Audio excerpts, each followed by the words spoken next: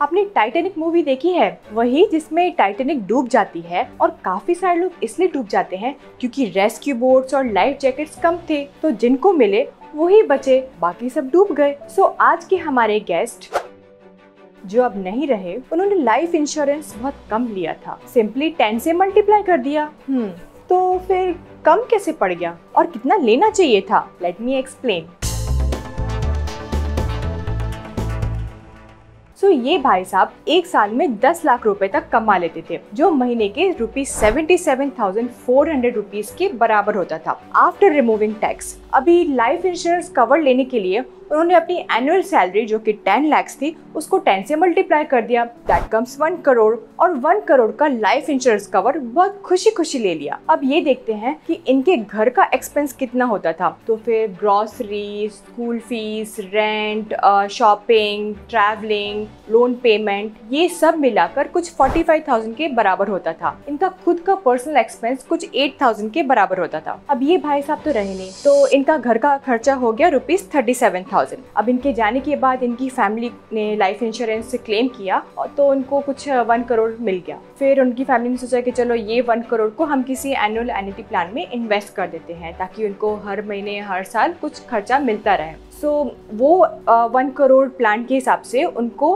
हर साल rupees four lakh twenty seven thousand मिलने लग गया, जो thirty five thousand six hundred rupees पर मंथ के बराबर था। बट यहाँ पे घर का खर्चा तो थर्टी सेवन थाउज़ेंड है। तो जो एनुटी पेमेंट आ रहा है, जो thirty five thousand six hundred है, वो तो कम पड़ गया ना। तो बाकी का खर्चा कहाँ से निकलेगा? वो निकलेगा पुरानी सेविंग से। अब याद करो कि ये भाई साहब seventy seven thousand four hundred rupees तक कमा लेते थे। इतना कमाते थे तो थोड़ा बहुत सेविंग्स भी हो जाता था राइट तो अब ये ये सेविंग्स भी नहीं मिलेंगी क्योंकि भाई एनुटी ही कम पड़ रही है। उसमें खर्चा ही नहीं निकल रहा तो सेविंग कहाँ से होगी? तो ठीक है ना सेविंग्स कम पड़ने दो। उसका फैमिली उसका इश्यू हमें क्या? ठीक है, उसकी वाइफ कोई जॉब कर लेगी। कोई अच्छा स्किल या एक्सपीरियंस तो होगा ही ना। बच्चे छोटे मोटे स्कूल में पढ़ लेंगे। भले ही आप उनको कुछ बनाना चाहते थे बट अब नहीं बना पाए। लाट साहब बनेगा। कुकनूस कहीं गरीब होने दो वरना फ्रॉड्स तो बैठे हैं ना बाकी के पैसे लूटने के लिए। इन सब के बीच में आई होप कि आपका पार्टनर ठीक ठाक रहे। कैंसर यस yes, ये सब हो सकता है अगर आपने अपना प्रॉपर लाइफ इंश्योरेंस कवर नहीं लिया है। इनफैक्ट बिज़नेस स्टैंडर्ड की एक रिपोर्ट के हिसाब से काफ़ी सारे इंडियंस ने अपना करेक्ट पॉलिसी कवर ही नहीं लिया है। Now you know how important it is to get proper life insurance cover for you and your family. तो फिर solution क्या है? So let me tell you the correct calculation ताकि आप अपना proper correct life insurance cover ले सके। सबसे पहले पता कीजिए कि आपकी आफ्टर टैक्स सैलरी कितनी आती है, जो इस केस में है rupees seventy seven thousand four hundred forty इसमें अपने एम्प्लॉयर का पी एफ़ कंट्रीब्यूशन भी ऐड करें, क्योंकि जब आप ही नहीं रहेंगे तो आपकी जॉब भी नहीं रहेगी और जो एम्प्लॉयर कंट्रीब्यूशन आज के डेट में आपको मिल रहा है because of of your job वो भी नहीं मिलेगा।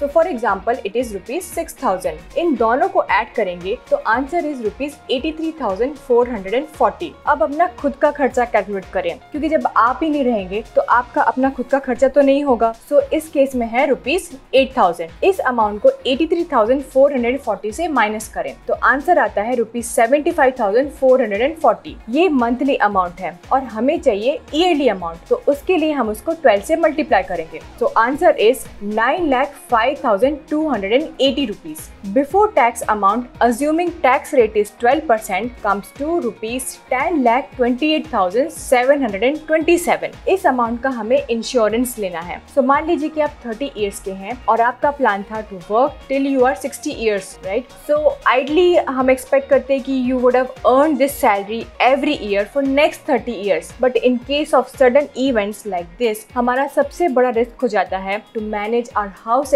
expenses and savings without any external source of income so अब ये जो आपकी ईयरली सैलरी है which is expected by you for next thirty years इसका आज के डेट में प्रेजेंट वैल्यू निकालेंगे। तो ये प्रेजेंट वैल्यू निकालने के लिए हमें डिस्काउंट रेट चाहिए राइट right? तो ये डिस्काउंटिंग रेट हमने दो रेट्स के हिसाब से कैलकुलेट किया है। Number one is the inflation rate which is five percent you can check this on R B I website and get the latest inflation rate as well and second is the government bond yield rate अभी यहाँ पर हमारा जो time period है that is thirty years right because you are thirty years and you are expecting your salary for next thirty years तो हम thirty year government bond yield check करेंगे। That I check on investing dot com and I found that it is six point nine percent अभी अगर आज के date में आपके पास उतना पैसा मिल जाता then probably you would have invested in secure government bond right and this is the rate you are getting at present from the government bonds. So we will take this 6.9% and use that to calculate our present value. So ये दो rates which is inflation rate of 5% and government bond yield rate of 6.9% we calculate our discounting factor which is 1.81%. इस discount factor को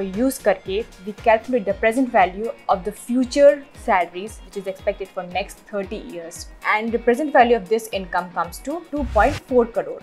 इतना minimum insurance cover in भाई साहब को लेना चाहिए था। तो अगर आपको भी जानना है कि आपका करेक्ट इंश्योरेंस कवर कितना होना चाहिए तो आप भी इस एक्सेल शीट को यूज़ कीजिए एंड कैलकुलेट कीजिए कि आप प्रॉपरली कवर्ड है कि नहीं। And yes do share your comments whether you found it useful और not so correct insurance cover calculate करने के लिए ये सिंपलेस्ट मेथड है। देर इज़ अनदर मेथड जिसमें we take into consideration a lot of other details as well जैसे आपका कुछ लोन पेमेंट है you want to settle that loan immediately या फिर आपका कुछ गोल्स हैं for your kids like your education plan you already have some existing assets you already have some other policies so वो कैलकुलेशन ये सभी चीज़ें कवर करता है। सो so, अगर आप चाहते हैं that if you want to know that calculation as well then let me know I can cover that calculation as well in another video तो ये तो हो गया आपके मंथली एक्सपेंसेस का protection via correct life insurance cover but उस risk का क्या? जब आपकी वाइफ को कोई भी जॉब करनी पड़े या फिर फ्रॉड्स उनको उल्लू बनाकर आपके सारे पैसे हड़प ले। हाँ अगर आपको लगता है कि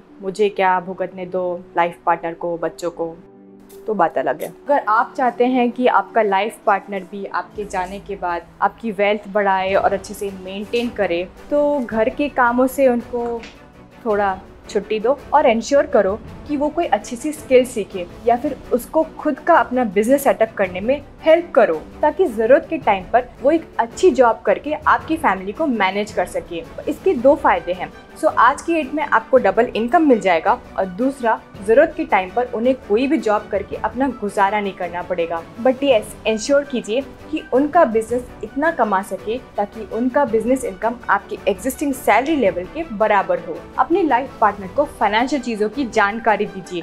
जैसे बैंक कैसे ऑपरेट करते हैं सेविंग्स क्या होता है इन्वेस्टमेंट क्या होता है टैक्स फाइलिंग कैसे करते हैं टैक्स कैसे बचाते हैं, ये सारी इन्फॉर्मेशन जो फ़िलहाल आप जानते हैं और आप मैनेज कर रहे हैं, उनके साथ भी शेयर कीजिए। हर एक टाइप के इन्वेस्टमेंट सेविंग्स या इंश्योरेंस में बेनिफिशियरी और नॉमिनेशन प्रॉपरली ऐड करें, ताकि वो पैसा आपकी फैमिली को ही मिले। तो टाइटेनिक की तरह ऐसे हवा में मत सोचो कि ये शिप कभी डूबेगा ही नहीं। अपनी फैमिली शिप में लाइफ जैकेट और रेस्क्यू बोट का सेफ्टी नेट हमेशा रखिएगा।